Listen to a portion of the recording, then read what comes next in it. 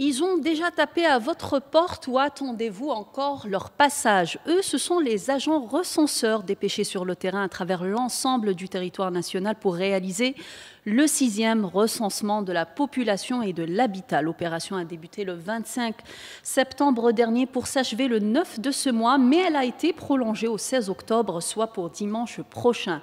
Comment se déroule ce sixième recensement? Pourquoi prend-il plus de temps que prévu? Et euh, à quelle fin sera réalisé ce recensement? Notre invité aujourd'hui, le directeur général de l'Office national des statistiques, M. Youssef Bazizi, est là pour répondre à nos questions. Monsieur Bazizi, bonjour et merci d'être parmi nous ce matin. Bonjour à vous, bonjour à tous les auditeurs de la radio Chaîne 3. Alors la première question, évidemment, c'est un recensement qui a commencé. Il était prévu qu'il s'achève le 9. Vous avez décidé d'aller jusqu'au 16. Comment se passe-t-il et pourquoi avoir prolongé les délais? Tout à fait. Comme vous venez de le dire, le recensement devait s'achever le 9, devait prendre 15 jours. Euh, toutefois, donc, euh, comme vous le savez, cette euh, édition du recensement, cette sixième édition, a connu une nouveauté, c'est l'introduction des, des tablettes dans la collecte d'informations. Et, du coup, donc, euh, euh, nous avons constaté les, tout premiers jours que la prise en main des tablettes a été un peu laborieuse chez une grande partie des, agents recenseurs, malgré la formation qui a duré toute une semaine, mais confronté à la réalité du terrain et aussi au fait, à l'exercice de, de, de, faire euh, euh, la collecte dans, le monde réel, au contact des ménages, etc., euh, nous avons constaté une euh, certaine lourdeur dans, le départ. Donc ça a été un peu, un peu laborieux. Et du coup, donc, il y a eu des rendements qui n'étaient pas suffisants les, premiers jours. Par la suite, il y a eu des rendements, c'était stabilisé à des, à des niveaux corrects. Mais cet état de fait a fait que euh, dans certaines localités, nous n'avons pas pu euh, terminer le recensement. Euh, en partie, donc, c'était dû à cette première partie laborieuse du, travail. Et en deuxième partie, chez, un grand nombre d'agents recenseurs, le fait qu'ils aient constaté qu'il y avait un peu cette lourdeur dans, dans la tablette, des fois, certains même ont touché aux, paramètres, euh, l'a arrêté carrément de fonctionner, alors que durant la formation, nous avions insisté sur le fait de ne pas toucher aux paramètres de la tablette, surtout ne pas activer euh, le Wi-Fi, parce que nous travaillons avec un VPN de Mobilis. Donc, il y a eu une utilisation des tablettes à des fins personnelles tout à fait. Certains donc l'ont utilisé bon, par curiosité. C'est des jeunes étudiants. Ils étaient un peu curieux pour voir les performances des tablettes. Donc ils ont eu. Certains ont, même téléchargé des, euh, des, applications, etc. Pour ne pas citer les noms des applications, juste pour voir un peu ce que ça pouvait donner. Mhm. Mais alors que la tablette devait être exclusivement dédiée au, recensement et donc euh, à travers le, VPN. Donc ceci, donc avec euh, l'impatience de faire, euh, de, travailler, d'avoir un rendement, avec cette difficulté d'utiliser la tablette avec ces changements de, paramètres, donc un grand nombre s'est rabattu sur le questionnaire papier. Donc, du coup, Beaucoup de citoyens d'ailleurs l'ont constaté, ils l'ont relevé. Tout, à fait. Mm. Donc, et donc, ils n'ont pas eu le temps de se familiariser avec la tablette. Ils ont eu plus de réflexes avec le papier par la suite. Mais ceux qui ont pris un peu de patience pour essayer de s'adapter avec euh, la tablette, ils ont réussi à travailler exclusivement avec les tablettes et à avoir des rendements très très élevés. Par contre, les autres, ils ont continué à travailler avec euh, du papier et vers la fin, nous nous étions retrouvés avec des masses de questionnaires remplis sur papier. Et comme c'est une opération qui est destinée à être euh, traitée avec des tablettes, il faudrait à tout prix donc faire rentrer ces données des questionnaires papier vers les tablettes. Donc, euh, Vous allez refaire un peu le travail pas refaire le travail, saisir, parce que le travail il est fait, il est sur du papier, mais mm. saisir euh, sur, sur, sur, les tablettes pour que ça puisse être transféré vers le serveur. C'est les agents eux-mêmes qui ont été désignés qui vont saisir euh, ces informations Tout à fait. maintenant C'est déjà parce que les, agents donc, quand nous les avions recrutés, il était question de faire le recensement sur la tablette. Et donc, du, coup, donc, certains ont, commencé à le faire, certains ont commencé à, remplir les, questionnaires euh, papier, etc. Mais le soir, ils transcrivaient tout cela sur tablette et ils envoyaient à leur contrôleur qui euh, validait ou bien donnait des réserves par, par, la suite pour envoyer au, serveur.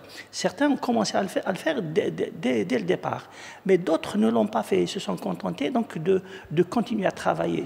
Donc on s'est retrouvé avec des masses de questionnaires papier.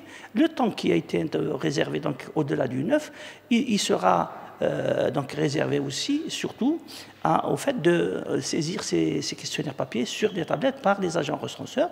Et euh, ce temps-là va être aussi utilisé euh, pour l'intervention des, agents de, de, Mobilis, qui sont nos, partenaires sur le plan technologique avec les tablettes, etc., pour essayer de refaire le paramétrage de l'ensemble des, tablettes qui n'ont pas fonctionné.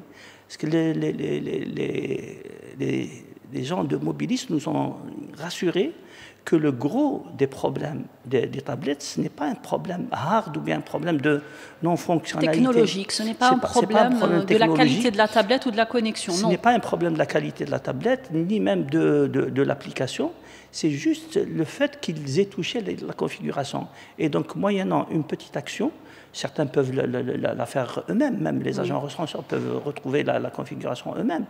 mais nous avons dédié un peu cette, euh, ces journées-là pour essayer de faire intervenir au niveau de chacune des communes, au niveau de chacune des wilayas, les agents de mobilisme pour qu'ils puissent faire fonctionner l'ensemble des tablettes. Donc il y a un appel qui est lancé à l'ensemble des, des wilayas pour faire un inventaire de l'ensemble des tablettes qui n'ont pas encore été utilisées pour, les, ramener les, collègues de, de, de, Mobilis pour intervenir dessus et les refaire fonctionner, les redonner aux agents recenseurs, soit pour qu'ils continuent ceux qui n'ont pas terminé le travail, ou bien euh, pour qu'ils commencent la saisie de, ces questionnaires-là. Donc, si je comprends bien, les six jours qui restent vont être euh, consacrés exclusivement à la récolte de données via les tablettes ou non?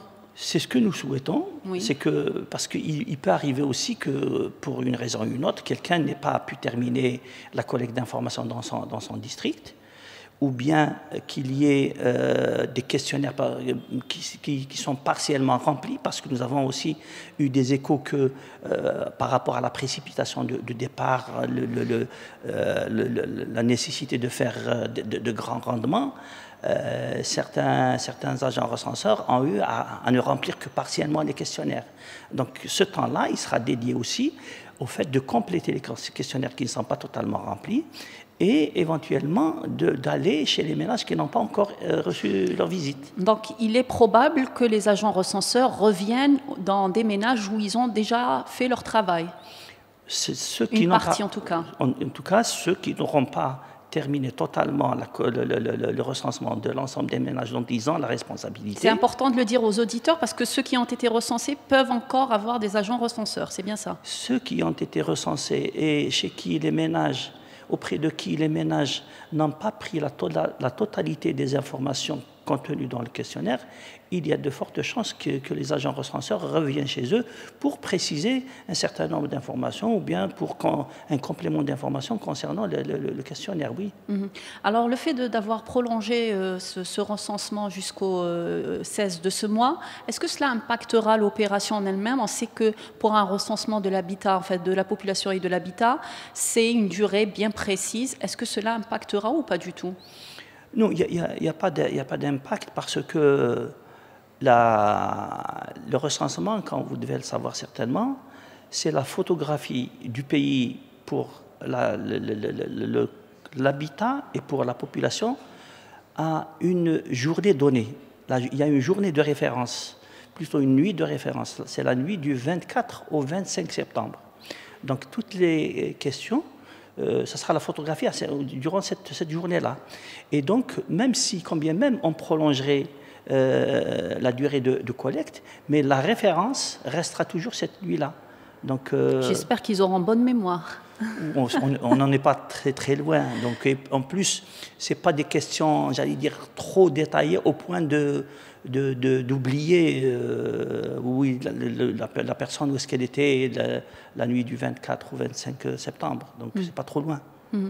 Alors un budget a été, euh, a été alloué à cette opération. Est-ce qu'aujourd'hui, euh, au démarrage et presque à la fin, il a été suffisant pour vous pour mener à bien cette opération? Oui, le budget a été dimensionné pour mener à bien cette opération. Donc, on n'a pas eu de problème d'ordre budgétaire, juste qu'à certains moments, quand au niveau de certaines wilayas, il y a eu un, peu de pression pour aller faire vite euh, dans les rendements, nous avons eu de fortes demandes de, questionnaires papier euh, à laquelle nous n'avons pas pu donc, euh, répondre parce que c'était prévu de faire le travail avec des tablettes. Bon, ceci dit, il y a une partie quand même des, des districts qu'on avait prévu de faire exclusivement avec des questionnaires papier, parce que le nombre de tablettes qu'on avait acquises était inférieur au nombre d'agents recenseurs recrutés. Donc euh, on était conscient, nous avons tiré euh, 2 euh, millions de, questionnaires papier. C'est le budget qui permettait pas C'est le budget, oui, le budget qui, qui, permettait. Mais les, les, wilayas, euh, heureusement, ont, procédé sur leurs fonds, propres, on les remercie beaucoup, pour le tirage dans, dans ces situations-là. Mhm.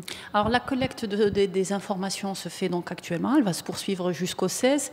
Est-ce qu'il y a une marge d'erreur justement pour la collecte de ces données quand on sait que, vous l'avez dit à l'instant, certains agents recenseurs vont repartir dans certains ménages pour collecter encore certaines données qui n'ont pas été collectées?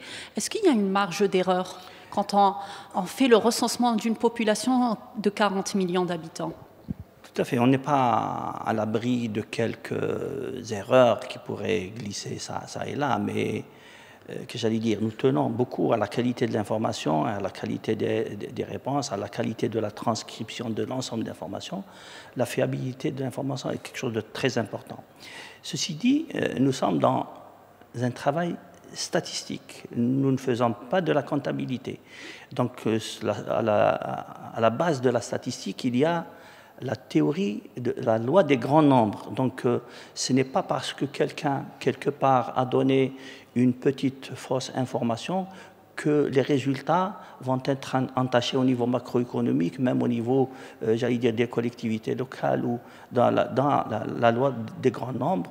Euh, permet de ne pas, j'allais dire, que, que, ce type de, j'allais dire, de, petites erreurs, de ne pas entacher les, indicateurs euh, obtenus. Mhm. Donc il n'y a pas de risque que l'opération euh, ou les informations récoltées ne soient pas fiables nous, pensons qu'il n'y a, pas de risque, surtout que nous avons constaté globalement il y a une très bonne collaboration de l'ensemble des, ménages. D'ailleurs, je tiens beaucoup à les remercier pour leur patience parce qu'ils ont été patients. Des fois, les agents recenseurs sont passés à des, horaires qui pouvaient ne pas arranger les ménages. Ils ont fait l'effort de, les recevoir. Pour certaines situations, ils ont demandé à ce que les agents recenseurs reviennent. Normalement, les agents recenseurs étaient tenus d'informer les, les, ménages la, veille, de la, veille, de leur passage. Ça n'a pas été fait partout. Hein. Ça nous avons constaté que ça n'avait pas été fait partout, malheureusement, mais ceci dit, ça n'a pas empêché les, les, ménages de se rendre disponibles pour répondre à l'ensemble des questions des, agents recenseurs. Nous tenons à, remercier, à les remercier beaucoup, donc, euh, ces, ces ménages-là pour leur collaboration et surtout à remercier le, personnel euh, donc, euh, de collecte, les agents recenseurs, les contrôleurs, les délégués communaux qui ont fait un travail pendant trois ans, les ingénieurs de wilaya, les superviseurs de, l'ONS, les autorités locales au niveau des communes, au niveau des wilayas, tout ce monde-là s'est mobilisé à plein temps pour la réussite de cette opération-là. Nous les remercions beaucoup. Mhm. Est-ce qu'il y a eu, euh, vous parlez de l'adhésion de la population, globalement ça s'est bien passé pour l'instant en tout cas, euh, est-ce qu'il y a eu des, questions euh, pour lesquelles les, ménages ont refusé carrément de, répondre? Oui, il y a eu sur les questionnaires que vous avez préétablis. Tout à fait. Il y a eu quelques hésitations, mais en, général, les questions qui sont contenues dans le questionnaire recensement, ce pas des questions sensibles. On a un volet habitat donc concernant le logement, l'espace du logement en termes de nombre de pièces, est-ce que c'est quel type d'habitat? Est-ce que c'est un immeuble, une habitation individuelle? Est-ce que c'est un habitat précaire s'il en reste? Est-ce que quels sont les différents raccordements du, logement? Gaz, électricité, réseau euh, euh, des eaux l'assainissement, l'assainissement. Euh, euh, le, type de, statut d'occupation inscrit les propriétaires, locataires, etc. Et nous avons observé aussi une partie sur euh, l'équipement des ménages en termes de, télévision, de, de lave-linge, de micro-ondes, micro micro-ordinateurs, euh, tout ça, euh, chauffage, euh, de gros électroménagers. Donc on a demandé même le, nombre par, par, ménage pour voir un peu les taux de possession et les taux d'équipement des, ménages en ces, en ces produits-là. Et ça permettra au, au, pouvoir public d'avoir des indicateurs d'équipement des ménages et d'estimer la, la, demande éventuelle s'il y a des, des taux d'équipement faibles euh, en moyenne au niveau national ou bien euh, plus faible à certaines, euh, dans certaines régions que dans d'autres. Ça pourrait aider aussi même les opérateurs économiques quand on voit qu'il y a des taux d'équipement qui sont faibles de tel ou tel produit quelque part c'est, j'allais dire, des consommateurs potentiels. Donc, Et du coup, les données que vous allez récolter seront accessibles à tout le monde, notamment aux, opérateurs économiques, pour pouvoir s'installer et lever un peu les disparités dans certaines régions. Tout à fait. Donc, euh, une fois le, recensement terminé, il y aura une production, production d'indicateurs. Comme on le disait, donc, euh, le recensement, c'est la seule opération qui donne des, indicateurs non seulement au niveau macroéconomique, mais au niveau infranational aussi. On donnera des indicateurs par wilaya, des indicateurs par commune, et, même par quartier s'il le fallait donc, et par village si, c'est nécessaire aussi. Donc, c'est des outils. Donc, on les autorités euh, donc, nationales auront des indicateurs au niveau macroéconomique et les autorités locales auront des indicateurs pour leur euh, municipalité ou bien pour leur wilaya. Donc, chaque wilaya, chaque commune aura des indicateurs concernant sa population, concernant son parc logement et les commodités d'habitat et la, structure de sa population, etc. Mm. Et donc, nous n'avons pas parlé du volet. Donc, le premier volet, c'est l'habitat, le logement, et le deuxième volet, c'est le volet population, donc ménage.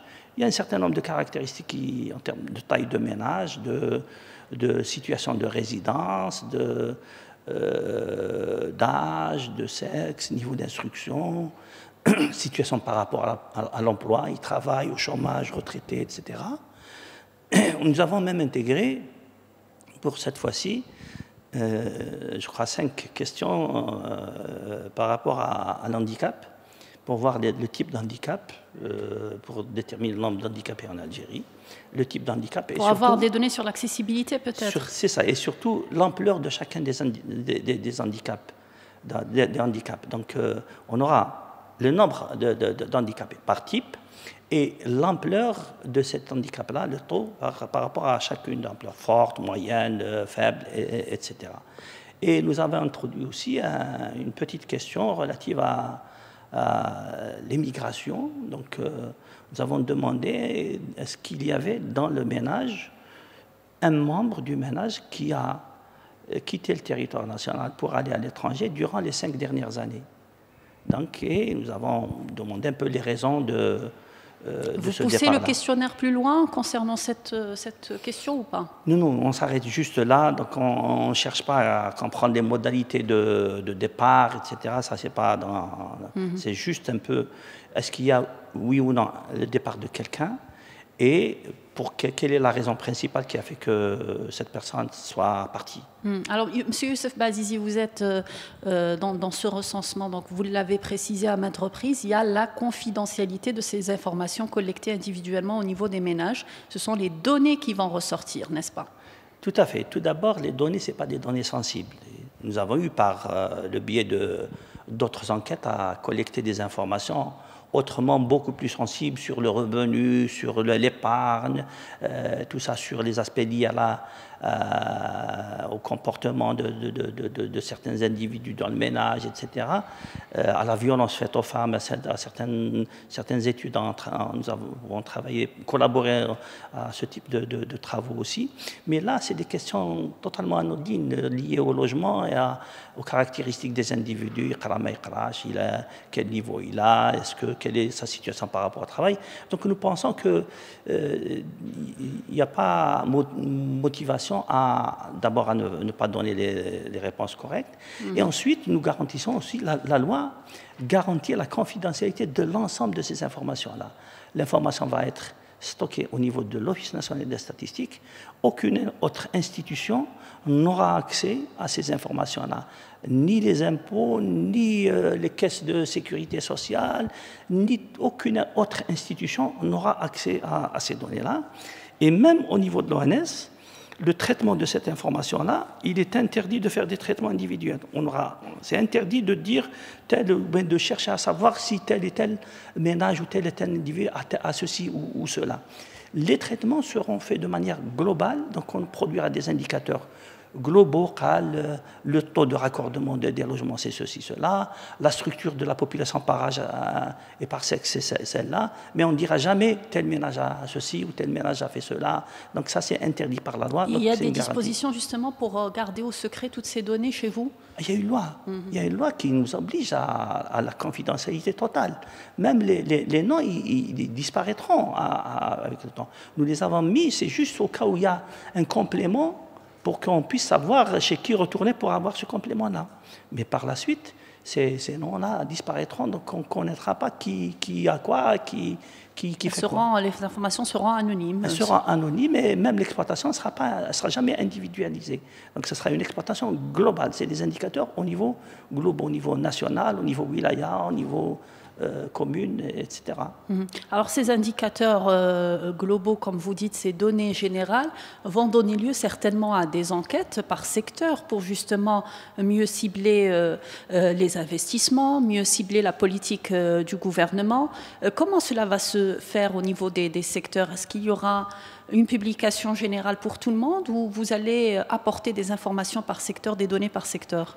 Il y a, j'allais dire, deux, trois grandes utilisations de, ces informations-là. D'abord, il y a une utilisation donc, pour les pouvoirs publics, pour connaître la situation de, la population et de l'habitat, et, et, à partir de là, euh, mettre en place des, politiques euh, à destination des populations en termes d'habitat, en termes de, travail, en termes de, santé, en termes de prise en charge des, populations handicapées, etc. Donc ces informations-là serviront au pouvoir public pour dresser mm, de manière encore plus précise, avec des données à jour, euh, ces, ces politiques-là. D'un autre côté, euh, ça servira aussi euh, aux opérateurs économiques quand on aura des indicateurs de taux de possession d'équipements, etc. Ou des, taux, de taux de chômage peut-être aussi Oui, taux de, taux de chômage éventuellement, mais sauf que taux de chômage dans le recensement, il n'est la disponibilité de la main-d'œuvre recherchée. Voilà. C'est-à-dire, voilà, donc euh, le, taux de chômage, il n'est pas vraiment, c'est pas très précis dans le recensement parce que le chômage, il exige toute une batterie de questions pour euh, garantir que c'est un vrai taux de chômage. La question sur l'emploi y est.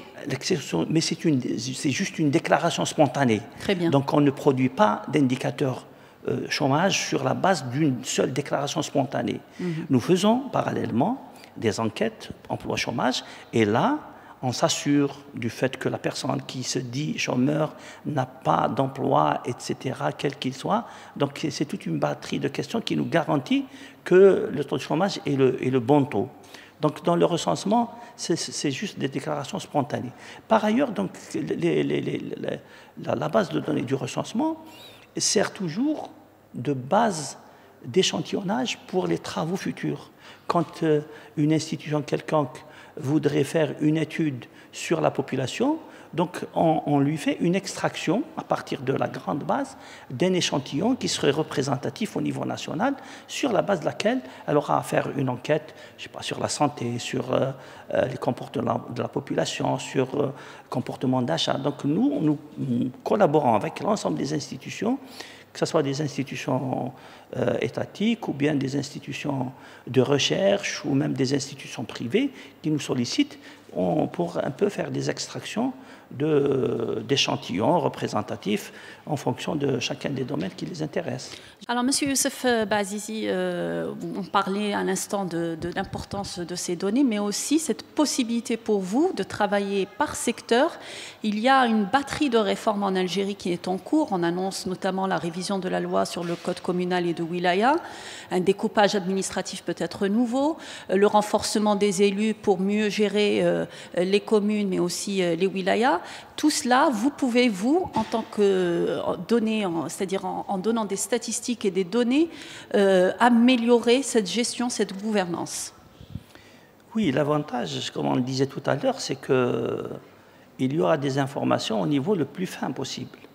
On aura la population, on aura le nombre de logements, et on aura les caractéristiques de ces populations et les caractéristiques de ces logements-là au niveau le plus fin. Je disais tout à l'heure, on pouvait aller au niveau commune, voire même au niveau infracommunal, au niveau des quartiers, etc.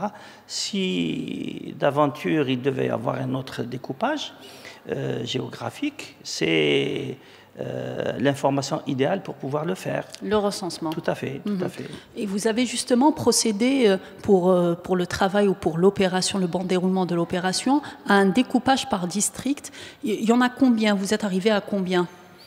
Donc, nous, pour, avoir, pour engager l'opération du recensement, nous avons mis presque plus de deux ans pour faire le découpage cartographique, ce qu'on appelle le découpage cartographique, pour estimer le, nombre d'agents recenseurs nécessaires pour faire le recensement durant 15 jours. Donc, il fallait découper l'ensemble du territoire national en espaces, en petits espaces qu'on appelle euh, districts du recensement.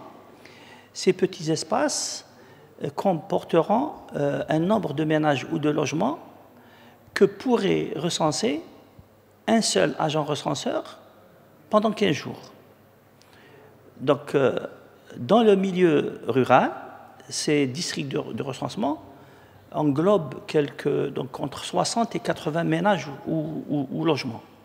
Donc, ces 60 à 80, nous considérons que c'est euh, le nombre de ménages que pourrait euh, recenser un seul agent recenseur en 15 jours. Dans les zones urbaines et agglomérées, le, district comprend entre 100 et 150 ménages ou logements. Là aussi, donc pourquoi cette différence? Parce que dans le milieu rural, l'habitat est dispersé. Quand un agent recenseur fait un ménage, peut-être qu'il aura à, marcher un peu ou bien peut-être même à aller en voiture pour aller recenser le deuxième ménage. Donc c'est pour ça qu'il y a moins de logements qu'on peut faire. C'est moins dense. Voilà, c'est moins mm. dense, c'est moins de, de logements qu'on peut faire en 15 jours. Mais par contre, dans les zones urbaines, des fois, c'est un immeuble, des fois, c'est euh, des îlots comme ça d'habitation individuelle. Donc, euh, elles sont toutes à proximité. Donc, on, peut faire euh, plus de, de, ménages en 15 jours. Un agent social peut faire plus de ménages en 15 jours. Donc, ça, un peu, une fois qu'on a découpé ça, donc on a trouvé qu'il y en avait donc, 50 000 districts. Donc, chaque commune a été découpée en, districts. Et en fonction du nombre de districts, nous avons recruté le nombre d'agents recenseurs. Nous en avons recruté 50, 51 000. Et comme il fallait des, contrôleurs pour euh, suivre euh, le travail de, ces agents recenseurs, nous en avons recruté quelque chose comme 8 000. Donc, globalement, sur le terrain, il y a 61 euh, 000 agents recenseurs et contrôleurs. Ils ont été recrutés au niveau local ou au niveau national? Tout à fait, c'est des recrutements au niveau local. Donc en général, c'est. Avoir la connaissance un tout peu. Tout à fait, c'est au niveau des, des, des, APC que les recrutements ont été faits. Nous avons donné le profil. Donc en général, c'est des étudiants ou bien des diplômés de l'enseignement supérieur. Et, ça a été recruté au niveau local. L'idée, c'était d'avoir une, une, une proximité entre l'agent recenseur et les ménages qui, qui, va recenser en général, souvent c'est des gens du, quartier ou bien du moins de la commune, de la commune qui vont chez, chez les ménages là. Donc ça simplifie beaucoup le, contact avec les ménages. Hmm. Il reste six jours euh, au recensement euh, national de la population et de l'habitat. Est-ce qu'on pourrait avoir une estimation sur euh, le déroulé? Combien déjà de ménages ont été recensés?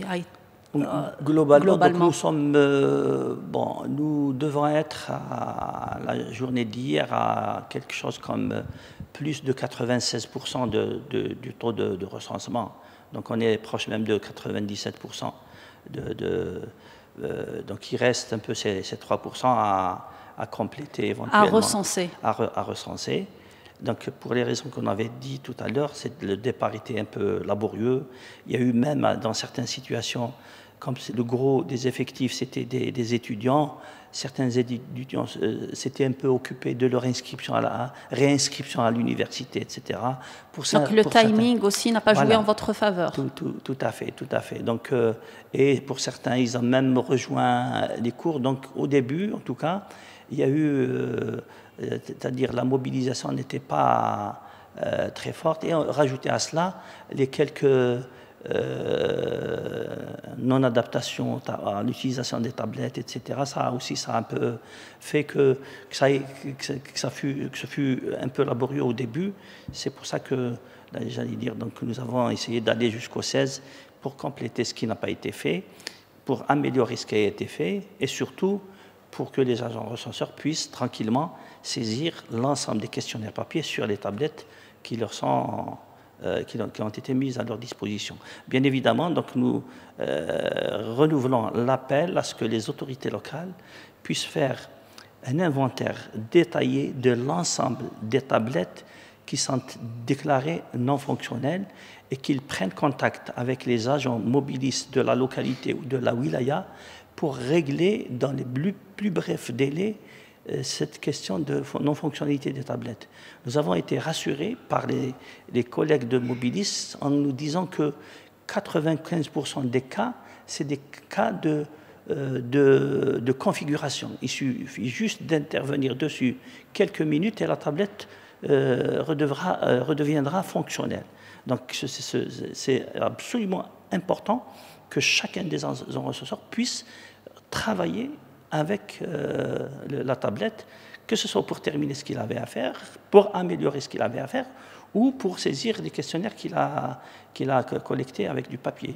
Ce sixième recensement a été prévu qu'il soit à 100% euh, numérique. C'est pour ça que vous insistez là-dessus, pour qu'il y ait cette reprise en main euh, des tablettes afin de, récolter euh, les données d'une manière rapide et, en, numérisant évidemment toutes les données. Tout à fait.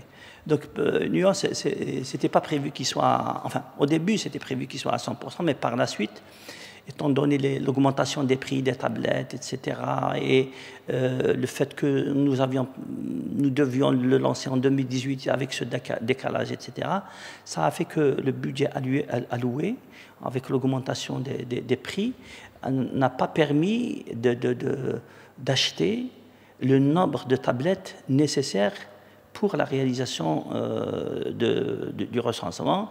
Donc nous avons prévu déjà dès le départ de recenser à, hauteur de 2 millions de ménages exclusivement avec du papier. Donc il y a des agents recenseurs qui sont sur le terrain, qui n'ont pas à leur disposition des tablettes. Ceux-là continueront à travailler avec du papier sans aucun problème.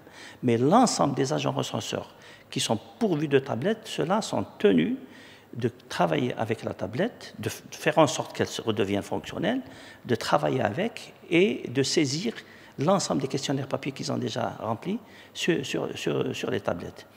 La tablette, pour ceux qui l'ont utilisée depuis le début, il y en a un grand nombre d'agents recenseurs qui l'ont utilisée. Ils ont été un peu patients, ils ont eu un peu cette, euh, dire, cette familiarisation rapide avec la tablette, et ça, le questionnaire va très rapide, parce qu'il y a nous avons introduit des, des sauts de questions non qui ne concernent pas certains individus. Donc, ces questions-là ne sont pas visibles sur la tablette. Et, du coup, donc, ça, ça, va très rapide. Et d'autre part, l'utilité de la tablette, d'abord, ça, ça, ira plus vite, comme on vient de le dire. Et d'autre part, ça assainit l'information. Quand il y a des ça évite les erreurs? Ça évite les erreurs. Ça évite les erreurs. Il y a des programmes en arrière-plan que nous avons introduits pour détecter les incohérences et les éventuelles erreurs. Et quand une erreur ou une incohérence est détectée, il y a un message d'erreur qui, apparaît sur la tablette en indiquant la nature de l'erreur. Et comme ça, des fois, c'est une question qui a été mal posées par l'agent recenseur. Peut-être que des fois, c'est dans la famille qu'on n'a pas très bien compris ce qu'on leur a demandé. Et parfois, c'est des erreurs de saisie en tapant un, numéro, on tape euh, à côté un autre numéro. Il, peut arriver qu'il y ait des, des, incohérences comme ça. Et quand ça arrive, il y a des messages d'erreur qui apparaissent et ça interpelle l'agent recenseur que pour continuer, il doit d'abord lever la contradiction, corriger l'erreur pour qu'il puisse avancer. Mm. Et le fait que le travail se fasse à l'intérieur du ménage, donc on a les personnes à côté. Donc on peut, si c'est un, problème, j'allais dire, de mauvaise compréhension de, la question, ou bien l'agent recenseur a mal posé la question, il, a les personnes à côté de lui, donc il peut reposer, prendre le temps d'expliquer bien ce qu'il veut poser comme question et euh, prendre la bonne réponse. En plus, Monsieur euh, Bazizi, des données que vous allez donc euh, mettre à la disposition des pouvoirs publics, mais aussi des opérateurs économiques, y aura-t-il des recommandations pour améliorer la collecte de ces données et statistiques? Les recommandations, on va les, les détirer une fois l'opération terminée. Nous avons quelques idées dès à présent. Nous sommes en train de voir un peu comment parce que c'est la première expérience à cette échelle-là. Nous avons eu des expériences, je parle de première expérience de l'utilisation de la tablette. Nous avons eu des, expériences par le passé, mais à, un échelon très réduit. Nous avons fait une enquête sur budget consommation sur euh, un échantillon de 5000 ménages. Mais là, nous parlons de 9 millions, 10 millions de ménages. Et en, plus, tout le travail se fait euh, de manière instantanée, euh, au même moment, à travers tout le territoire national. Donc, euh, à cette échelle-là, c'est la première expérience. Bien évidemment, donc, dans toute première expérience, il y a des choses, des améliorations à apporter et nous, nous, sommes, nous travaillons dessus actuellement pour, une fois l'opération terminée, en tirer l'ensemble des, des, leçons, l'ensemble des expériences et en faire des recommandations pour tout un chacun qui voudrait un travail similaire. Mhm. Dans certains pays, le recensement est, fait d'une manière continue par région euh, pour justement euh, éviter euh, qu'il y ait un dysfonctionnement ou une collecte, des disparités dans les collectes. Ça se fait d'une manière, c'est-à-dire par région, régionale ou par nord, sud, ouest. Est-ce que cela pourrait être adopté en Algérie quand on connaît la superficie de l'Algérie et aussi la disparité qu'il y a dans les régions? Tout à fait. Donc, euh, dans certains pays, il y a euh, un recensement qui se fait en partie annuellement ou même pas par région. Soit c'est des échantillons représentatifs euh, de l'ensemble du territoire d'année en année. l'économie nationale c'est des données fraîches à chaque fois. C'est deux méthodes différentes. Chaque méthode, comme chaque, chaque, méthode, a ses avantages et ses inconvénients. Nous, nous avons, pour, en tout cas pour ce recensement-là, euh, décidé de, de, travailler comme on a l'habitude de le faire déjà, comme beaucoup de pays le font, parce que les, pays qui font ce recensement un peu euh, j'allais dire partiel euh, annuellement, ils ne sont pas si nombreux que ça. Mm-hmm. Donc éventuellement, donc, dans le cas des, des leçons qu'on aura à tirer, des recommandations à faire, euh, on, va voir un peu l'éventualité de, changer d'approche si nécessaire pour le futur. Hmm. Comment est recensée la population nomade? Est-ce qu'il y a eu un, formulaire euh, exceptionnel pour euh, la population nomade ou comment se fait le déplacement? Oui, il y, a, un questionnaire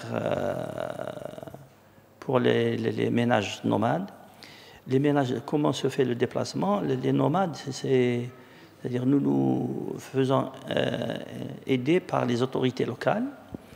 les présidents d'APC connaissent très bien les populations nomades qui s'installent euh, sur leur territoire. Donc, euh, nos agents recenseurs, avec les contrôleurs et avec les superviseurs de l'ONS, prennent contact avec les autorités locales et identifient l'éventuelle implantation de population nomade sur le territoire de la commune. Et quand c'est le cas, il y a des questionnaires qui, donc, euh, dédiés à, ces personnes, à, cette population-là qui sont utilisés par les agents recenseurs pour aller euh, vers les lieux d'implantation de ces populations nomades pour faire le recensement. Donc c'est euh, le remplacement est prédéfini au niveau local. Tout à fait. Les, autorités locales connaissent tout, à, fait. Qu'il y ait un double recensement pour eux. Tout à fait. de toute façon, le, double recensement ne peut pas exister parce que euh, nous avions dit que la référence est une, une seule nuit. la nuit du 24 au 25. Donc quelqu'un ne peut pas être à la fois là et là en une seule nuit. Donc mhm. c'est là où l'information sur le recensement euh, sera prise. Mhm. Alors le dernier recensement euh, de la population et de l'habitat en Algérie remonte à 2008. Euh, généralement, en moyenne, c'est au bout de 5-10 ans qu'on refait un recensement. Pourquoi chez nous, ça a pris autant de temps pour réorganiser un nouveau recensement? Donc, tous les recensements se font au bout d'une dizaine d'années, toutes les 10 années. cette fois-ci, donc... Même tous les 5 ans pour certains oui, il peut arriver que, certains pays puissent faire tous les cinq ans, mais les changements euh, dans la structure de la population ne sont pas si importants pour justifier de dépenser autant d'argent pour donner des indicateurs qui pratiquement n'auront pas bougé. Donc ça serait vraiment pas rationnel de, mettre un budget aussi important euh, cinq ans après pour dire finalement ça n'a pas bougé de beaucoup, alors qu'on aurait pu travailler avec les mêmes indicateurs, parce que le recensement, c'est plus des données de structure. Mais pour avoir des, dire des, des, mises à jour, il y a des enquêtes légères qui sont menées pour euh, euh, mettre à jour un certain nombre d'indicateurs. Mais le recensement, globalement, il se fait toutes les dix années un peu partout. Donc au-delà des, des, des, recensements qui sont faits au, sondage euh, avec les nouvelles méthodes. Donc euh, c'est ça. Donc pourquoi pas on, devait le faire en 2018. Bon, euh, c'était vrai qu'on devait le faire en 2018. Ensuite, donc nous, euh, quand nous l'avions préparé, donc il y a eu quelques problème dans euh, l'acquisition des, euh, des, tablettes parce que nous avons prévu. Donc il y a, eu un, peu de temps perdu dans les acquisitions, les appels d'offres, etc. Le fait de passer par euh, un fournisseur. Au début, il était question de les faire fabriquer en Algérie. Ensuite, nous avons constaté, ceux que nous avions contactés pour les fabriquer, euh, ne nous ont pas donné suffisamment de garanties pour l'éventuelle intervention en cas de défection de ces tablettes-là instantanément. Donc du coup, pour prendre plus de précautions, donc, il a été décidé de, de, les importer et les opérations d'importation, donc ça a pris un peu de temps. Ensuite, le Covid est, est, arrivé, donc du coup, on a eu un peu ce décalage-là. Hmm. Donc en 2018, il était prévu, mais bon, vous n'étiez pas prêt à entamer euh, euh, l'opération. Pour, des raisons euh, d'ordre logistique et d'ordre sanitaire. Hmm. Est-ce que cela a impacté justement les décisions qui ont été prises, d'après vous? C'est-à-dire les décisions Au niveau économique, au niveau politique, est-ce que ça peut impacter euh, ce type de décision, puisqu'on n'a pas de visibilité par rapport aux données, tout le monde le dit aujourd'hui, nous n'avons pas de données assez fraîches pour euh, établir des politiques euh, pérennes.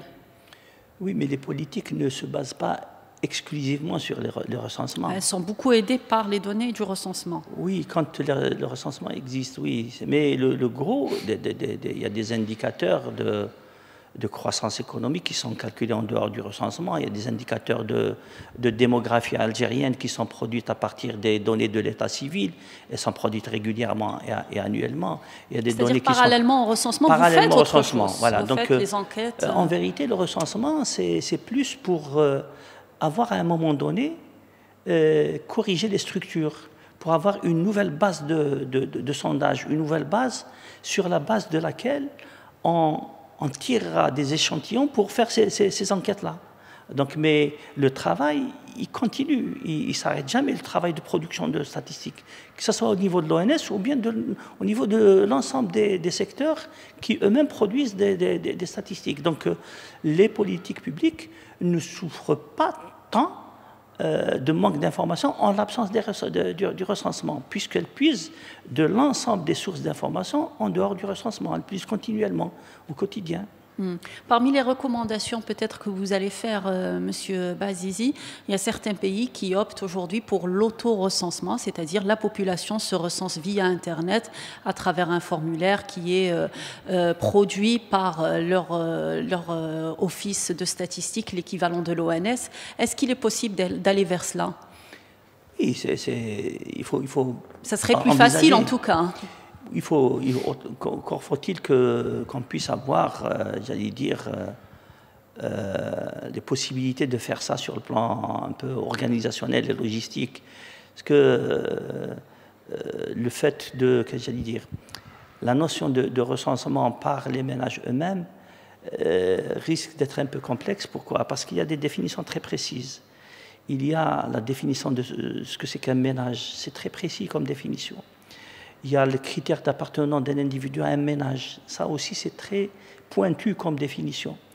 Il y a le critère de résidence, est-ce que l'individu est résident dans le ménage ou pas, pour éviter le double emploi? Il y a la, notion de, rapport par rapport à l'activité. C'est-à-dire qu'il faut qu'un agent soit là pour expliquer. Ah oui, c'est des définitions qui sont très, très précises. Il n'est pas possible de produire des formulaires standards. Oui, c'est euh, possible de, le faire. C'est possible de le faire.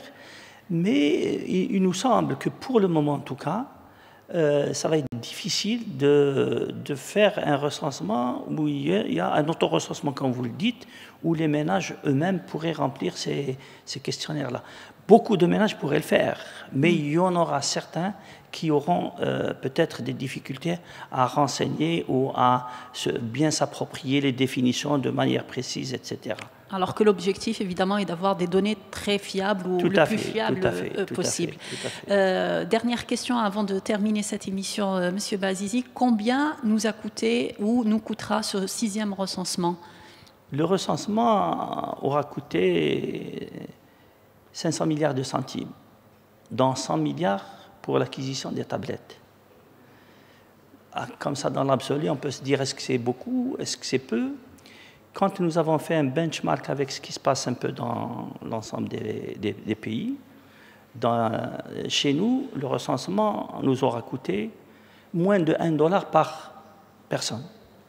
Alors que dans les pays voisins, il coûte jusqu'à plus de 10 dollars par personne. Et dans certains pays développés, le coût peut arriver jusqu'à 100 dollars par personne. Donc le coût, euh, c'est-à-dire toute proportion gardée, en coût relatif, nous avons un recensement qui a coûté très peu cher. Un dollar par personne. Moins de un dollar par personne. Moins de un dollar par personne. Et j'imagine que la rentabilité euh, sera là euh, au moment où les données seront euh, mises à la disposition des pouvoirs publics. En tout cas, nous, nous exploiterons à fond l'ensemble de ces données-là. Nous mettrons à la disposition de l'ensemble des utilisateurs, l'ensemble des indicateurs qui seront produits. Et c'est le recensement, c'est qu'il peut y avoir des, des études et du travail dessus sur une dizaine d'années. C'est une source qui est inépuisable. Tant qu'il n'y a pas un nouveau recensement, il y a toujours matière à extraire de l'information très précise et des études à faire dessus, etc. Donc c'est ça un peu la rentabilisation de cet investissement-là. Les premières données euh, seront connues, seront euh, mises à la disposition Les premières données devraient donc, tomber trois mois après la fin euh, du, du recensement, en disant donc euh, plutôt début janvier 2023. Le prolongement n'impactera pas euh, Oui, légèrement, donc, parce qu'il va falloir, on ne peut pas commencer le, traitement avant la compilation totale de l'ensemble des.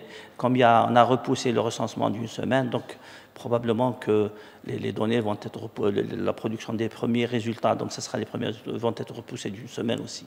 Et dès le 17, vous commencez le traitement?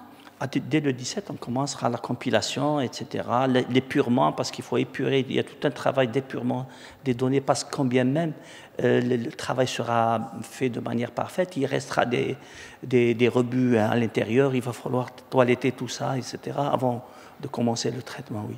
Un dernier, le mot de la fin, peut-être aux auditeurs qui, qui nous écoutent euh, ce matin, par rapport au recensement, par rapport à ce délai de prolongement. Est-ce que vous avez quelque chose à leur dire?